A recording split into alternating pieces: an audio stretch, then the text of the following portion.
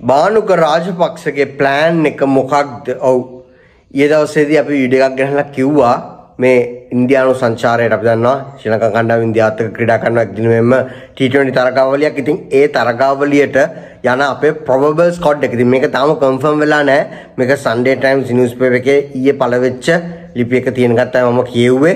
එතන probable squad එක දාලා තිනවා. T20 වලට කවුද ඉන්නේ? ඒකම ODI වලට කවුද ඉන්නේ? ඒකම කවුද නැවතත් පැමිණලා තියෙන ප්ලේයර්ස් කවුද කියලා ඒ ස්කොඩ් එක දාලා තිබුණා මම ස්කොඩ් එක නැවතත් කියවන්නම්. ප්‍රොබල් ස්කොඩ් එක දාලා තිනවා පැතුම් නිස්සංක කුසල් මෙන්ඩිස් තනංජය ඩිසිල්වා චරිත් අසලංක දසුන් ශානක මේ ඔක්කොම එක්දින සහ T20 වල ඉන්නවා. වාර්ණුක රාජපක්ෂ T20 විතරයි.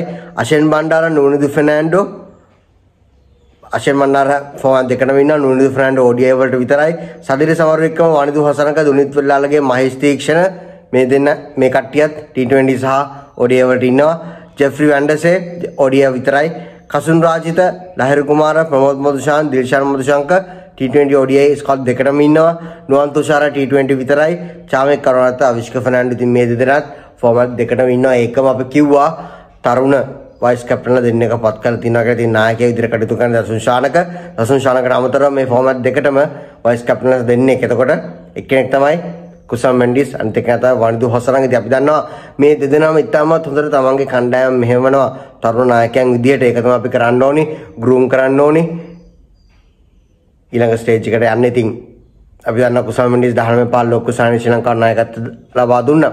ඉතින් ගෝල් ගෙඩේරස් කණ්ඩායම නායකයෝ විදියට හොඳ හොඳට කටයුතු කරන එකම විශේෂයෙන්ම වනිදු හසරංග කැන්ඩි ෆාල්කන්ස් කණ්ඩායමේ නායකයා විදියට විශිෂ්ට විදියට ඔහු තමන්ගේ කැප්ටන්සි කරලා තියෙනවා. ඉතින් මේක නම් ගෲම් කරන්න ඕන නෙක්ස්ට් ස්ටේජ් එකට යන්න. ඉතින් ගෲම් කරන්න පුළුවන් එකම විදිය තමයි මේ වගේ වයිස් කැප්ටන්සි ලබා දීලා. ඉතින් කලින් මේ දෙනාට කලින් චරිත අසලංක තමයි වයිස් කැප්ටන් විදියට කටයුතු කරේ. අපි දන්නවා රිච්මන්ඩ් විද්‍යාලයේ නායකයෙක් විදියට කටයුතු කරා. ඒකම 15 පාල් ලොකුසරයි නායකයෙක් විදියට කටයුතු කරපු චරිත අසලංකට වයිස් කැප්ටන්සි එක දීලා ඔහුව ගෲම් කරන්න බැලුවා මෙතන බිග් ස්ටේජ් එකට.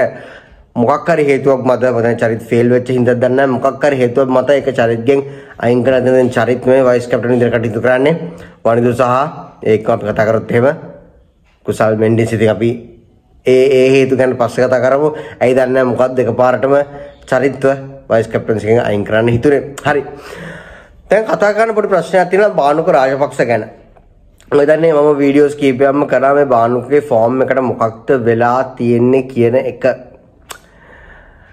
ආසියානු කුසලාන ෆයිනල් එකෙන් පස්සේ පාකිස්තානට එරෙහිව ලකුණු 72ක් ලබා ගත්තට පස්සේ ඊට පස්සේ T20 ලෝක කුසලානේ ක්‍රීඩා කරා සාර්ථක වෙන අවස්ථාවක් හම්බුනේ නැහැ ඊට පස්සේ අප්‍රිස්තාන ODI සීරීස් එකේදී ඔහු කිව්වා මම ODI වලට මේ සීරීස් එක ක්‍රීඩා කරන්නේ නැහැ මම අවුට් කරනවා කියලා. ඉතින් එයා සිලෙක්ට් කරන්න එපා කියන එක තමයි එයා කිව්වේ. එයාට ටයිම් ලබා දෙන්න එයාට එයා කිව්වා එයා එයා ට්වීට් කරලා කිව්වා එයාට ප්‍රශ්න තියෙනවා එයා මානසිකව හොඳ මට්ටමක නෙමෙයි ඉන්නේ ඒකම පොඩි ඉන්ජරිස් වගේක් තියෙනවා ඉතින් මේවා එයාට හරි ගස්ස ගන්න ඕනි. ඒකෙන්ද එයාට ටයිම් ඔෆ් ඕනි කියලා මේ තරගාවලිය ක්‍රීඩා කරන්න බෑ කියන එක බාඩුම කිව්වා. ඉතින් ශ්‍රී ලංකා ක්‍රිකට් එකෙන් ඒක රෙස්පෙක්ට් කරා. ඔහුට ඒ අවස්ථාව ලබා දුන්නා. ඔහුට එළියෙන් ඉන්න අවස්ථාව ලබා දුන්නා. එතකොට බානුගේ ෆෝම් එක ගැන මම කතා කරා. බානුක දැන් ඊට පස්සේ LPL ක්‍රීඩා කරා. ඒතකොට LPL වල ක්‍රීඩා කරපු දැන් දමුල්ල කණ්ඩායම නියෝජනය කරන්නේ දමුල්ල කණ්ඩායම දැන් කොහොමද ටූර්නමන්ට් එකෙන් උන්ට මං හිතන්නේ ඉස්සරහට කොහොමද යන්න පුළුවන් වෙයි කියලා. තව එක තරඟයේ තියෙන තරඟ හතක් ක්‍රීඩා කළා. තරඟ හැම පරාජයටපත් වෙලා මේ තරඟ හත තුලම බානුකොට එක ඉනිමක්වත් ක්‍රීඩා කරන්න බැරි වුණා ලකුණු 35කට වැඩියෙන්. මේ හොඳ ක්‍රීඩකෙක්. ඒ වගේම තමයි T20 ලෝක කුසලානේ. එතන තරඟ 8ක් ක්‍රීඩා කරා. එතනත් උඩ කිසිම තරගයක ලකුණු 35කට වඩා ක්‍රීඩා කරන්න රැස් කරන්න බැරි වුණා. ඉතින් තරග 8යි මෙතන තරග 7යි. ඒතොර තරග 15ක් වෙනවා. අවසාන තරග 15 දී අවසාන තරග T20 තරග 15 දී බාඩුකට එක තරගයවත් ලකුණු 35කට වැඩියෙන් රැස් කරන්න බැරි වෙලා තියෙනවා. මොකක්ද එක පාට මොකේ ෆෝම් එකට උනේ.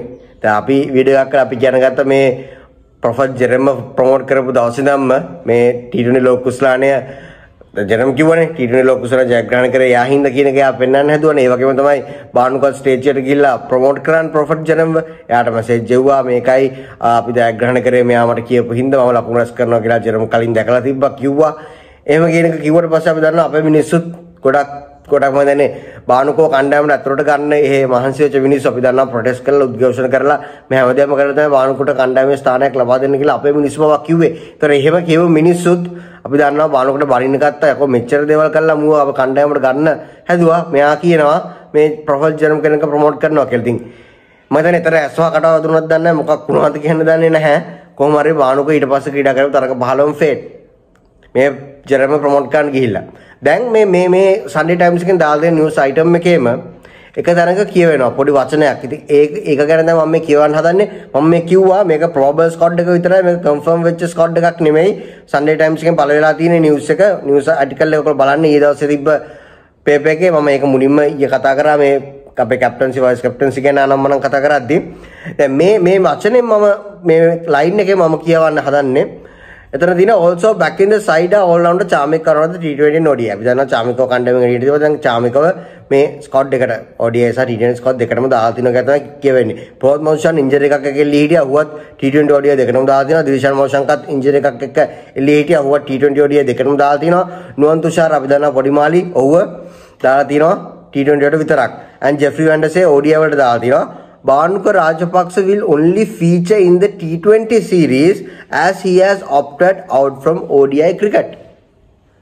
Bhanuka Rajapaksa will only feature in the T20 series. Bhanuka Rajapaksa T20 series එකට විතරයි ක්‍රීඩා කරන්නේ. මොකද ඔහු එක්දින තරඟ වලින් ඉවත් වෙන තීරණයක් අරගෙන තියෙනවා. එතකොට මේ තීරණය ගත්තේ කොහොමද? දැන් අපි දන්නා ඇෆ්ගනිස්තාන සීරීස් එකට ඔහු හේතු දක්වුවා. ඔහුට මේ සීරීස් එක ගොඩක් අය හිතුවේ. ඔහුට මේ සීරීස් එක ක්‍රීඩා කරන්න බෑ කියන එක විතරයි. ඒ කියන්නේ ඇෆ්ගනිස්තාන සීරීස් එක ක්‍රීඩා කරන්න බෑ කියන එක විතරයි. ඒක තමයි ඔහු ට්වීට් කරලා කිව්වේ. මම මට පොඩි ඉන්ජරිස් වගේක් තියෙනවා. මට හොඳ නැහැ. මට පොඩ්ඩක් ෆැමිලි එකත් එක්ක කාලය ගත කරන්න ඕනේ. මම මෙන්ටලි ස්ටේබල්ුත් නැහැ. ඒකින්ද මට මේ තරගාවලිය ක්‍රීඩා කරන්න බෑ කියලා ඔහු කිව්වා. ඊට පස්සේ ඔහුට NOC එක ලබා දුන්නෙත් නැහැ T10 එක ක්‍රීඩා කරන්න. දැන් එතකොට ඔහුට ඉන්ජරි මුකුත් තිබ්බා නම් ඔහු කොහොමද මේ LPL එක ක්‍රීඩා කරන. ඒතර LPL එකේ හො අසාර්ථක වෙලා තියෙනවා. නමුත් ඔය LPL එක ක්‍රීඩා කරන. එතකොට අර ඉන්ජරිස් අර තිබ්බ ප්‍රශ්න ඔක්කොම ඔහුගේ ඉවරයි. හැබැයි ඇයි එහෙනම් ඔහු මේ එක් දින තරග වලින් ඔප්ට් අවුට් කරලා තියෙන්නේ? මෙතන මේ ලියවෙන්නේ ඒකනේ. බානුකව කන්සිඩර් කරලා තියෙන T20 විතරයි. මොකද ඔහු ODI වලින් එළියට ඇවිල්ලා තියෙනවා. කියන්නේ ඔහු කියලා තියෙනවා ඔහු කන්සිඩර් කරන්න එපා කියලා. එතකොට මෙහෙම නිවුස් එකක් ඔෆිෂියලි බානුක කිව්වද? එතකොට බානුක එදා අර කිව්ව නිවුස් එක එයා කිව්ව ට්වීට් එක ඒක ඇවිල්ලා වළංගු වෙන්නේ මුළු එයාගේ එක්දින කැරියකටමද? ඒ කියන්නේ එක්දින ආයි ජීවිතයක් ක්‍රීඩා කරන්නේ නැද්ද? එහෙම එකක්ද ඔහු එතන සඳහන් කරේ. එහෙම නැත්නම් ඔහු එතන සඳහන් කරේ ඇෆ්ගනිස්තාන සීරීස් එකට විතරද ඔහු ක්‍රීඩා කරන්නේ නැති කියලා. ඒතර මේ ඉන්දියානු සීරීස් එකට ඔහු කන්සිඩර් කරන්න එපා කියන එක ඔහු කොහෙද කියලා තිබ්බේ කොහෙද ඔෆිෂියල් කියලා තිබ්බේ කියන එක ප්‍රශ්නයක් තියෙනවා. ඒතර බානුකගේ මොකක්ද ඉදිරි දක්ම? මොකක්ද ඔහු ඉස්සරහට කරන්න හිතන් ඉන්නේ? ඔහු T20 විතරක් ක්‍රීඩා කරන ක්‍රීඩකෙක් වෙනවද? එහෙම නැත්නම් දෙකම ක්‍රීඩා කරන ක්‍රීඩකයෙකුට දෙයි මම මං දැන් මේක ඉස්සර ඉඳන්ම කිව්වා බානුක්ක වගේ ක්‍රීඩකයෙක් අපිට ඕනි T20 ආකෘතියට ගැලපෙන ක්‍රීඩකයෙක්. ඉතින් ODI වලට අපි දන්නවා අෂෙන් බණ්ඩාර ගොඩක් කාලයක් ස්කොඩ් එකේ ඉඳලා තිනවා හැමදාම රිසර්ව් ෆීල්ඩ් විදියට ඇවිල්ලා ප්ලේයර් විදියට ඇවිල්ලා ෆීල් කරනවා. ඉතින් ඔහුට අවස්ථාවක් දෙන්න කියන එක තමයි අපි කියන්නේ. මොකද අපි දන්නවා අෂෙන් බණ්ඩාර ඉතාමත් හොඳට මැදපෙළ පිටිකරුවෙක් විදියට ක්‍රීඩා කරලා තිනවා. ඒකම මේ LPL එකේ ක්‍රීඩා කරලා තියෙන ඉතින් නුවණදු ෆර්නැන්ඩෝ තින්නා මැදට ක්‍රීඩා කරන්න අංක පහ වගේ ක්‍රීඩා කරන්න පුළුවන් ක්‍රීඩකයෝ ඉතින් බානුක මොන වගේ තීරණයක් ගන්න හදනවද කියන අපිට හිතා ගන්න බෑ. ඔහු එක්දින වලින් රිටයර් වෙලා T20 විතරක් කන්සන්ට්‍රේට් කරන්න යනවද කියන එක කියන්න බෑ. ඉතින් ඉස්සරහ බලන්ගමු මම මේ කියවේ සන්ඩේ ටයිම්ස් එකේ තිබ්බක විතරයි. මොකද එතන කියවලා තියෙනවා බානුක ඉන්දියානු සීරීස් එකේ T20 සීරීස් එක විතරයි ක්‍රීඩා කරන්නේ. මොකද ඔහු ODI වලින් එළියට යන්න තීරණයක් කරන් තියෙනවා කියලා. ඉතින් බලන් ඉමු මොකද ඉස්සරහට වෙන්නේ කියලා. බානුක ෆෝම් එකට එයි කියලා නැත්නම් අපි හිතමු.